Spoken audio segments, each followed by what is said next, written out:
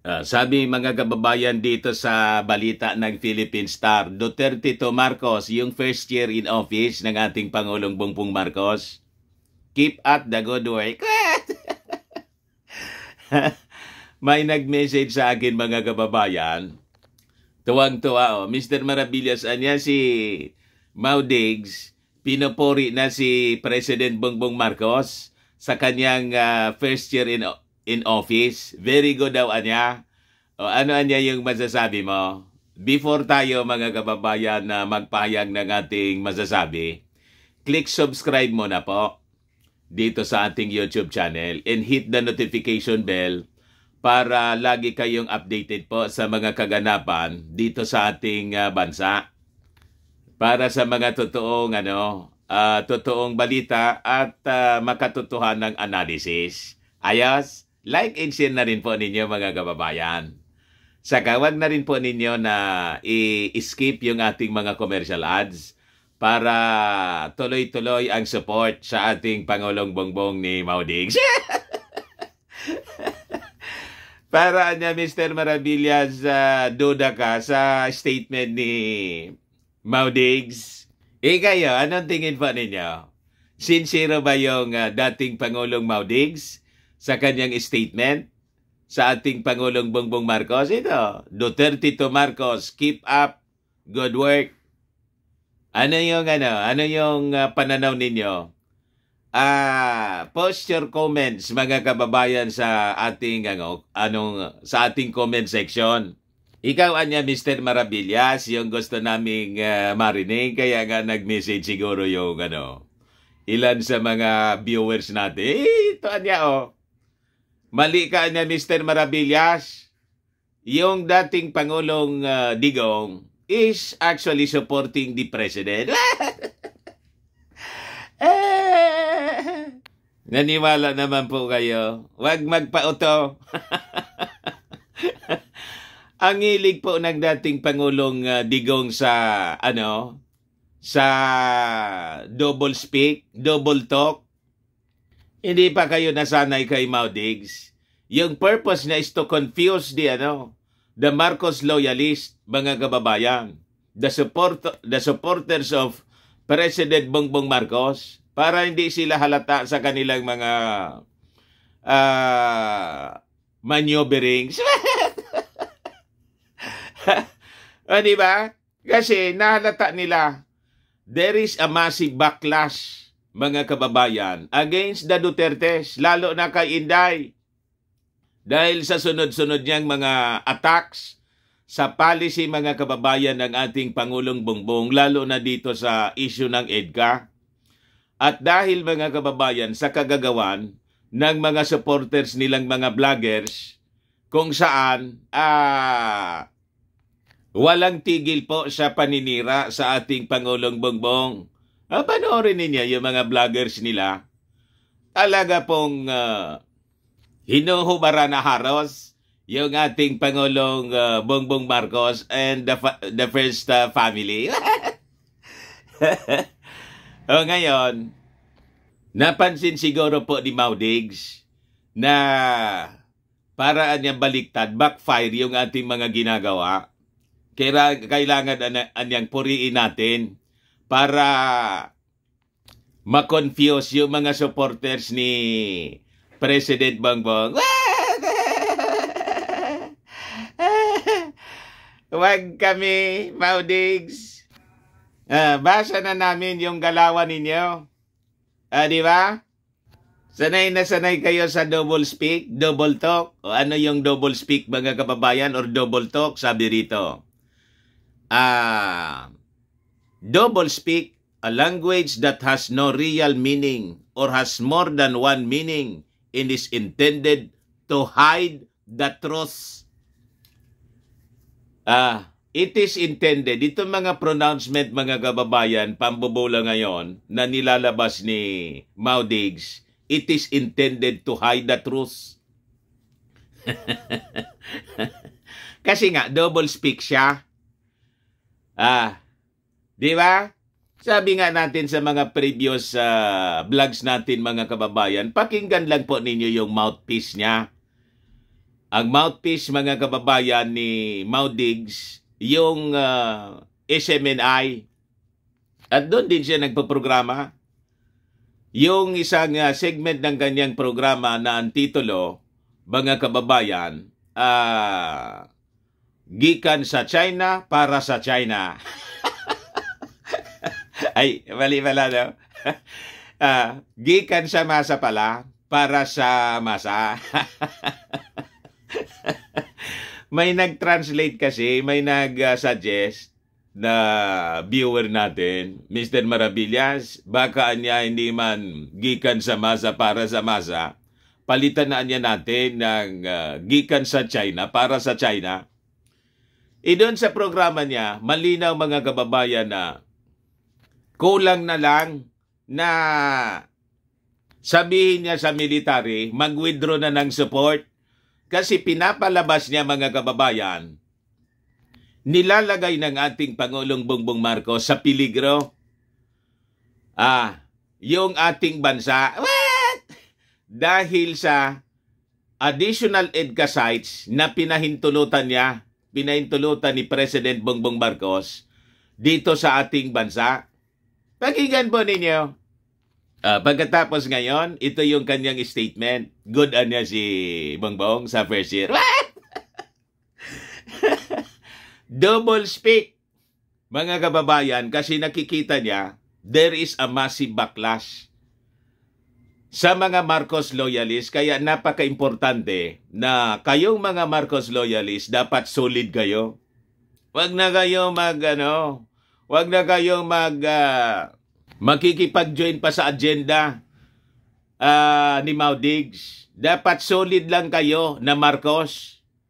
Kasi kayo yung ano, kayo yung uh, kayo yung totoong puwersa na pangingilagan po ng uh, mga DDS kasi alam nila na yung Marcos uh, Marcos ano uh, loyalist sila man talaga yung naglagay sa mga Duterte mga kababayan sa posisyon at ang yung mga DDS napakakonti man po lang sila kokonti man lang po yung mga mga DDS. Yon ang rason kung bakit ngayon si Maudigs ay nagdo-double speak to hide the truth.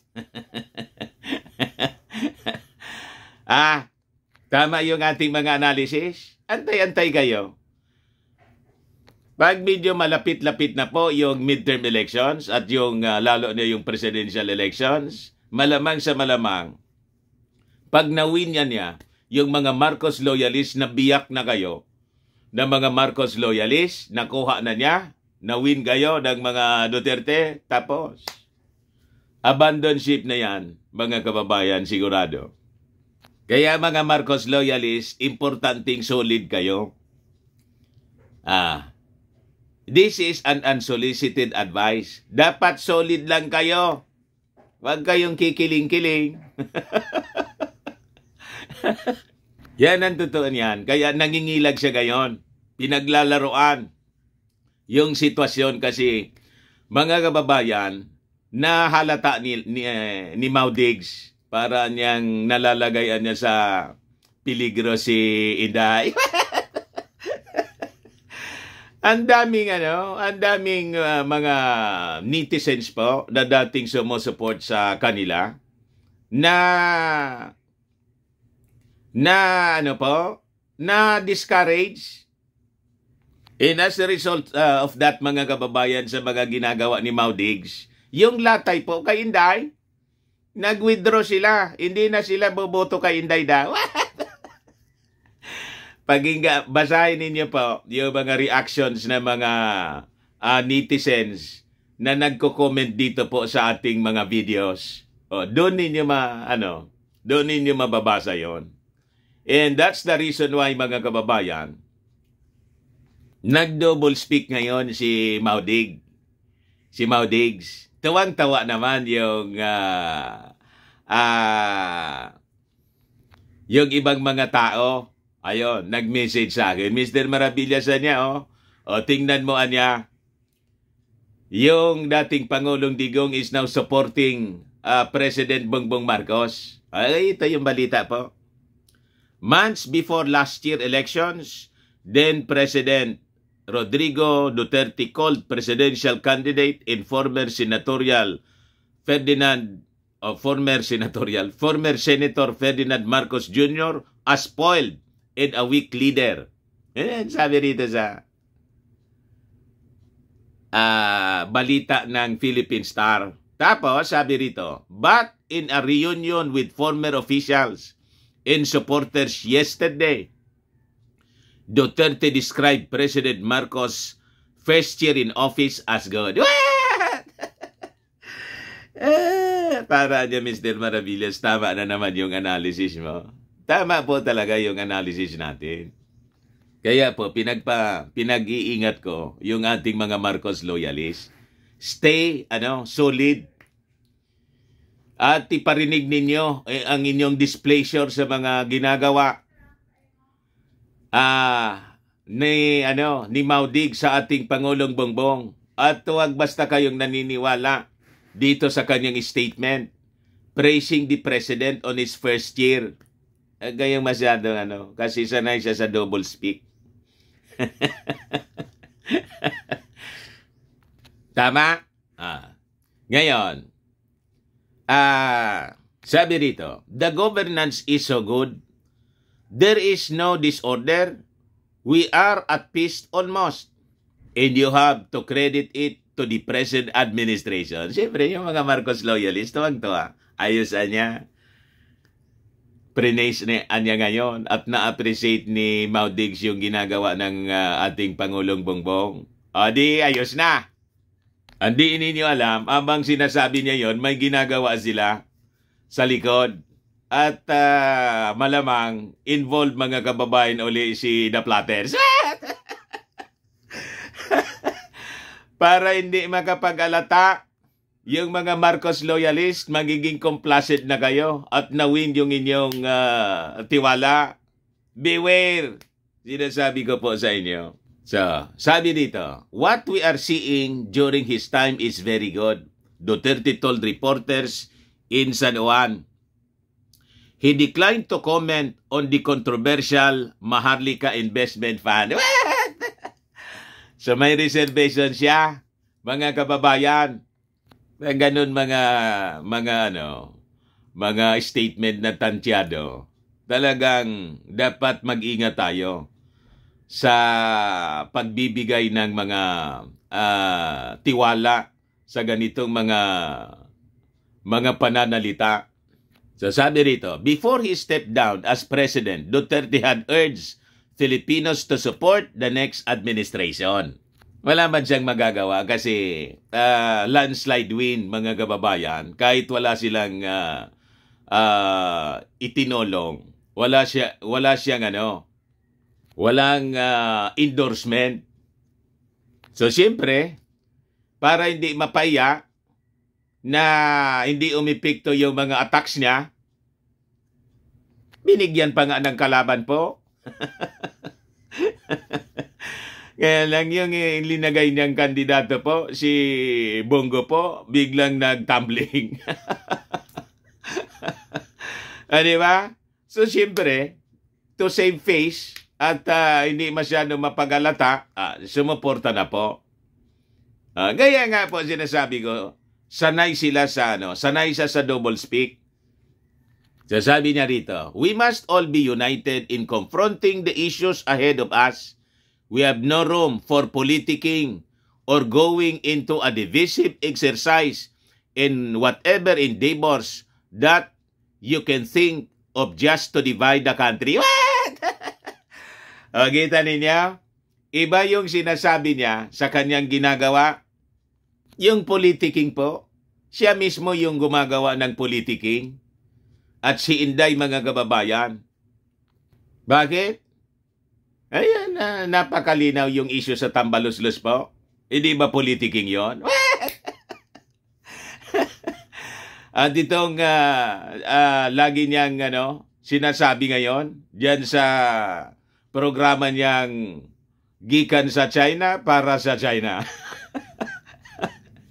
Kung hindi po yan politiking, ano yung uh, tawag ninyo dyan?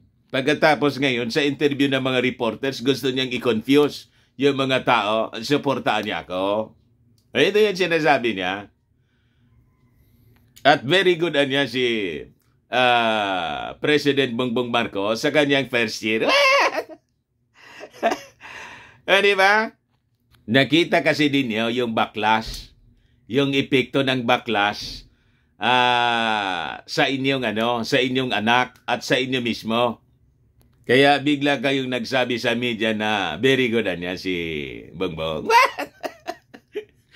uh, sabi rito, as a background mga kababayan, story, Duterte who once claimed he dismantled the oligarchy yet defended political dynasties, did not join his allies in endorsing the candidacy of Marcos as he ran with his daughter, then Davao Mayor and eventual Vice President Sara Duterte. Yun po ang malinaw doon, mga kababayan. Hindi man siya nag-endorse, uh, nilait pa niya, mga kababayan, siniraan niya, uh, tinawag niyang spoiled brat, tinawag niyang, uh, tawag dito, uh, weak leader, pagkatapos nilagyan pa niya ng kalaban.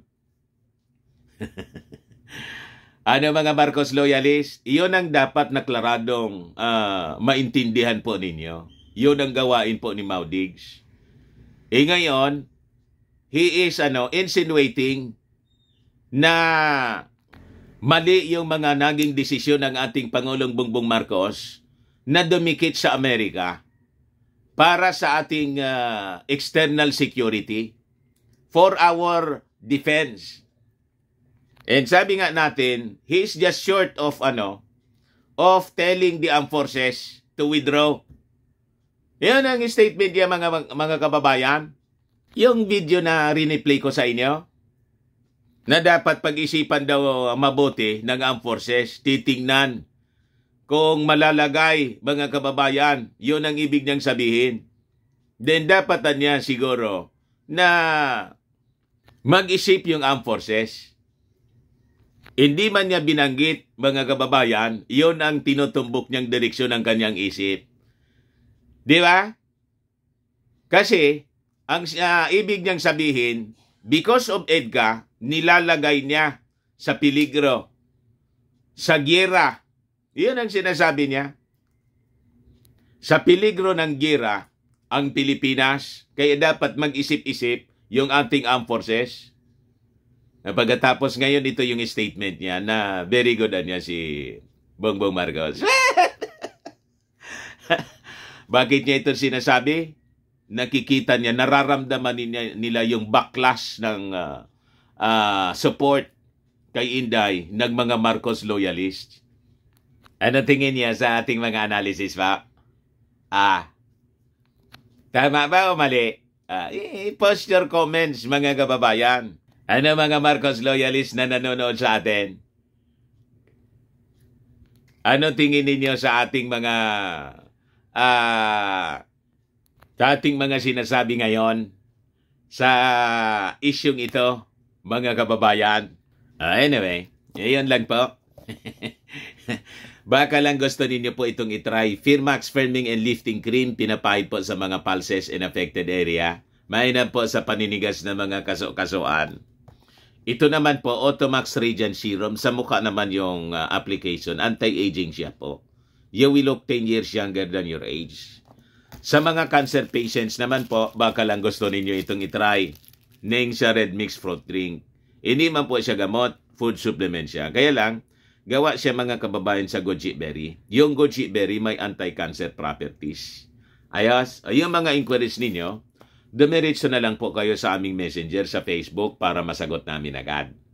Okay po, ako po si Dante Maravillas. Bye-bye. God bless.